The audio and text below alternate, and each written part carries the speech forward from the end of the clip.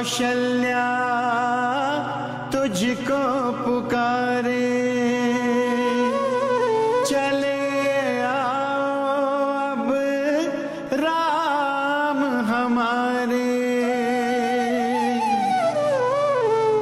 कब तक खुद से झूठ कहूँ?